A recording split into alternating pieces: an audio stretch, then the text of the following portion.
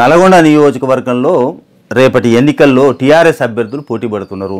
ఆశావహులంతా ఓ అడుగు ముందుకేసి వాళ్ళ వాళ్ళ ప్రయత్నాలు మొదలుపెట్టారు. ఇక్కడ సిట్టింగ్ ఎమ్మెల్యే భూపాల్ రెడ్డి ఇంతకుముందు ఈయన టీడీపీ నుంచి వచ్చినోడు ఏదో అనుకోకుండా కేసీఆర్ ఇస్తే ఒకసారి గెలిచిండు. అది నిలబెట్టుకోకుండా మొత్తం ఆయన గ్రాఫ్ పడిపోయింది ఇప్పుడు. లతీఫ్ సాబ్ గుట్ట కాలకాడ పడిపోయింది ఆయనది. ఇప్పుడు ఆయన జాకీలు పెట్టినా లేచే పరిస్థితి లేదు. ఇక ఏడెనిమిది నెలలు ఏదో టైంపాస్కు తిరగాల్సిందే. సో ఈ క్లారిటీ జనంలో వచ్చింది పాపం. ఆయనకు కూడా వచ్చిందని చెప్తున్నారు. జనంలో వచ్చింది టీఆర్ఎస్ నాయకుల్లో వచ్చింది కాబట్టి ఇంకా తమ అదృష్టాన్ని పరీక్షించుకోవడానికి అందరూ ఒక్కొక్క అడుగు ముందలు పెడుతున్నారు. ఒక నలుగురు ఐదుగురు బయటికి వెళ్ళి మొదలుపెట్టినా కానీ లాస్ట్కి వచ్చేసరికి ఏమైందంటే ఉద్యమకారులకు ఈసారి అవకాశం ఇవ్వాలి ఎప్పుడు ఉద్యమ ద్రోహులైనా పదేళ్ళ నుంచి ఎదురు చూస్తున్నావు ఉద్యమకారులకు ఎందుకు అవకాశం ఏరు అనేది ఒక గొంతు మొదలైంది. దాంట్లో ప్రధానంగా నల్గొండ నియోజకవర్గం నుంచి ఉద్యమకారులు అంటే ఇప్పుడు ఒక ఇద్దరు ముగ్గురు ఉన్నారు దాంట్లో. బండ నరేందర్ రెడ్డి ఇప్పుడు ఆయన ఆశిస్తున్నాడు కానీ ఆయన ఆల్రెడీ జిల్లా పరిషత్ చైర్మన్గా ఉన్నాడు.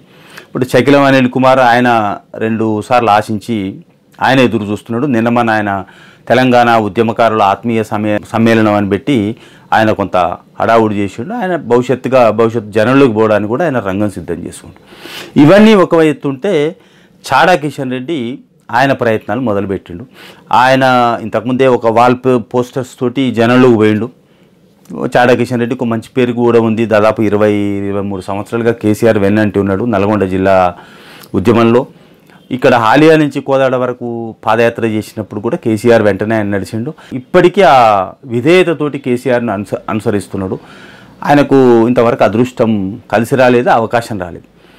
సరే ఉద్యమకారులకు ఎవరికో చిన్నదో పెద్దదో ఒకటి వచ్చింది కానీ ఈ కిషన్ రెడ్డికి మాత్రం ఇంతవరకు ఈ అవకాశం రాలేదు. అయినా ఆయన ఓపికతోటి ఉన్నాడు. ఈసారి మాత్రం తనకు అవకాశం బలంగా ఉంటుందని నమ్ముతున్నాడు. దాంట్లో భాగంగా చిన్నగా ఆయన మద్దతుదారులను కూడగట్టుకుంటున్నాడు. ఇవాళ నల్గొండ ఈ కనగల మండలం దర్వేశ్వరంలో ఆయన ఆత్మీయుల సమావేశం ఏదో సైలెంట్గా పెడుతున్నట్టుగా తెలిసింది.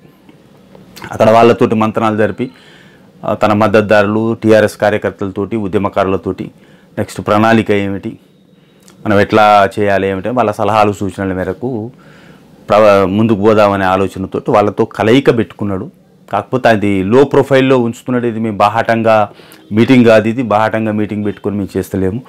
దేవుని సమక్షంలో కూర్చొని మాట్లాడుకోవడానికి ప్రశాంతంగా పోతున్నామని ఆయన బయటికి ఆయన నుంచి వినిపి వినిపిస్తున్నటువంటి మాట.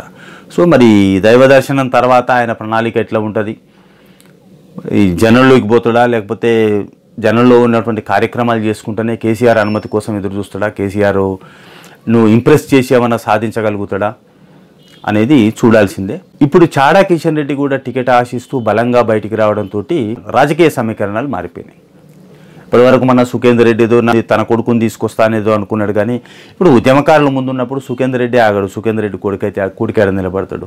సో ఇప్పుడు చాడా కిషన్ రెడ్డి రావడంతో ఇప్పుడు ఉద్యమకారుల వైపు ఖచ్చితంగా కేసీఆర్ చూడాల్సిన పరిస్థితి ఏర్పడ్డది.